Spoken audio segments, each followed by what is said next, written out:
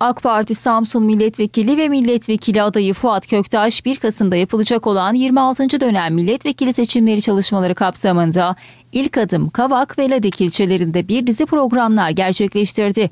Devlet Demir Yolları Samsun İşletme Müdürlüğü yetkilileri ve personeli, Kavak Organize Sanayi Bölgesi'nde faaliyet gösteren firma sahipleri ve Ladiklilerle bir araya gelen Köktaş, Gençlik Buluşması adı altında Ladikli gençlerle buluşarak bilgi ve tecrübe paylaşımında bulundu.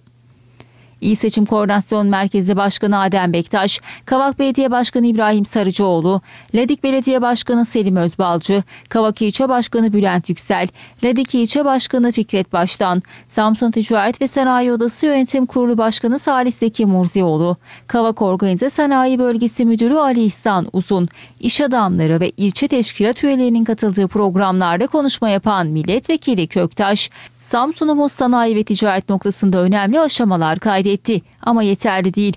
Hedeflerimiz var. Bu hedefler doğrultusunda ihracatı arttıracak yolları inşallah birlikte bulacağız. 7 Haziran sonrası yaşanan süreci siz de yakından gördünüz.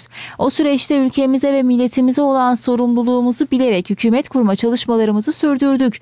Bir partinin genel başkanı ise bu sorumluluktan kaçarak her şeye hayır dedi. İşte bir ülkede huzur ve güven ortamı yoksa ekonominin ve ticaretin iyi gitmesi söz konusu değildir. Bunun için iş dünyası için istikrar önemlidir. İnşallah içinde bulunduğumuz bu günleri hep birlikte aşacağız.